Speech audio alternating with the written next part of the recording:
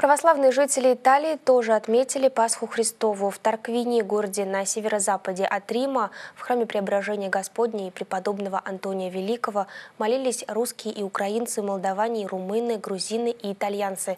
Все православные, проживающие в этой местности. Смертью смерть поправ, и сущего гробе живот даровал.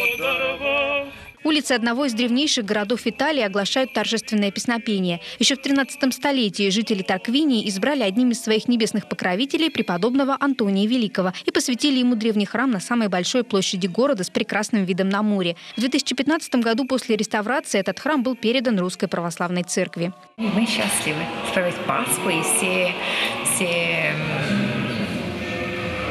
события церковные. Со всей семьей, пусть даже далеко, но важно прийти и пообщаться, побыть вместе. Это самое важное, потому что жизнь когда тяжела для нас. И когда вот когда раз один день в неделю мы стараемся прийти и собраться, как бы, как бы вторая семья, здесь хорошо. По крайней мере, нам здесь хорошо. Богослужение возглавил настоятель церкви иеромонах Авель Усачев. Несмотря на то, что приход молодой, богослужения здесь совершаются регулярно. Ближайшие службы пройдут в эти выходные дни 22 и 23 апреля. Здесь приглашают всех увидеть великолепный, прекрасно сохранившийся средневековый христианский храм и помолиться в этом святом месте.